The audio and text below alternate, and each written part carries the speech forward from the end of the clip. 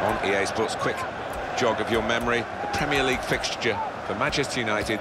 They'll be facing Arsenal away from home. Yeah, a lot of people have been talking about this one. Looking forward to it. He's in there with a head. That's a great finish for the first goal of the day.